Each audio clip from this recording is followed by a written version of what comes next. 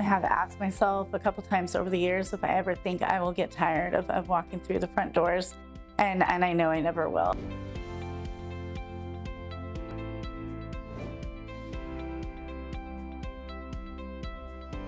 I didn't really realize the impact it would have on me or how committed I would feel to the well-being of our residents and that is what kept me coming back. I care every single day that our residents are living their life to their fullest. It's just as important to me that our staff are doing well and supported and recognized as it is that we give that to our resident. I believe that uh, we really strive to have a culture of trust and respect, a place where people um, know that they're going to be treated uh, as a valued member of our team.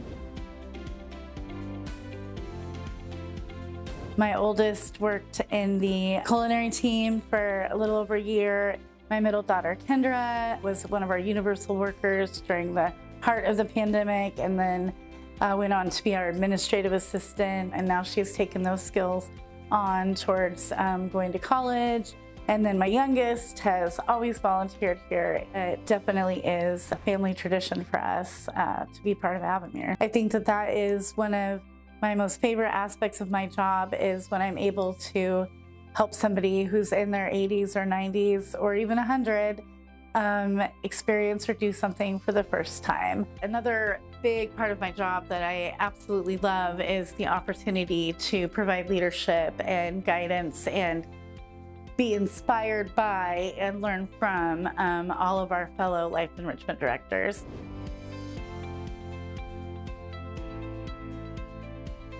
I love teaching others and I love sharing my passion for what I do. Um, with my counterparts in other communities and it has been really great to see the growth that we've had as a company, um, to meet all of the new ELEDs and then also to assist them. I get to come to work and receive love from so many people and give that love out and that is the best feeling.